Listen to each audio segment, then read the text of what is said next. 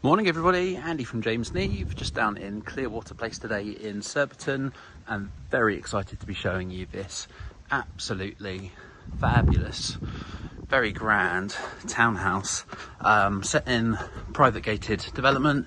You've got off-street parking, access to garage which I'll show you later.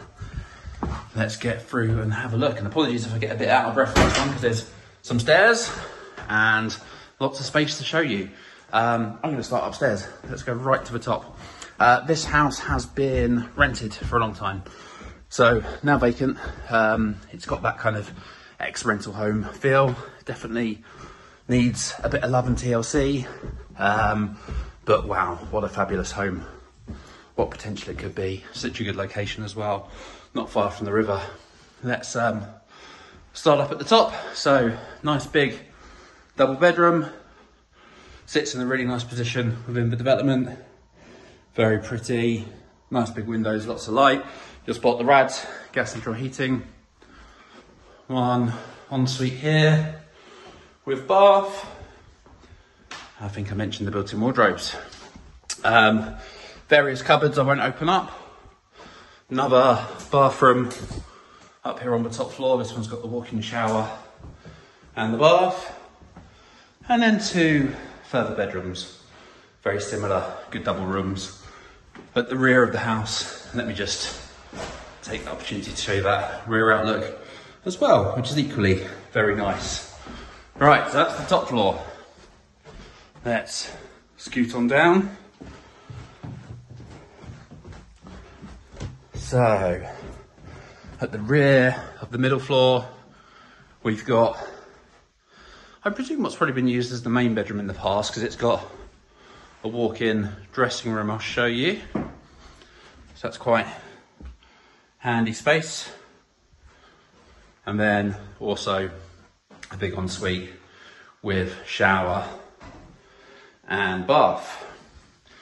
Um, to the front of the middle floor, we've got another large space used as living room previously Got kind of entertainment storage system built in, loads of room to work with. And then as we go down again,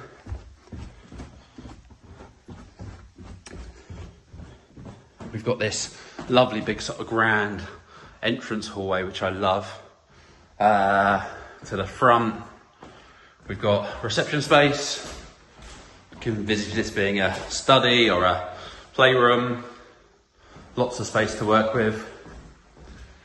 We go through to a little downstairs cloakroom, some more storage, more storage, and then kitchen diner at the rear. So again, lots of room to work in here. I'm sure someone's probably going to open this up and put a new sort of grand flashy kitchen in. The space is here, all ready to go. Um, access to your rear garden, patio and lawn, all enclosed, all feels very safe nice and sunny, like the trees. And then you think that must be it, hey? But no, we go down again. So down into the ground level, we have a very large utility room.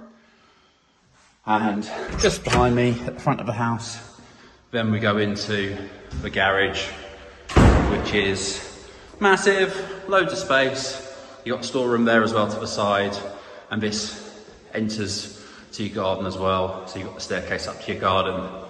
Um, I don't know about you, but I would imagine you might come in and split this up, make some more habitable room space down here, keep a sort of garage store at the front. Loads of potential. What a stunning house! Not every day of the week we get these kind of things. It's a really beautiful one, great location. It's going to be coming to the market for sale. Watch this space do give me a call 01932 221 331.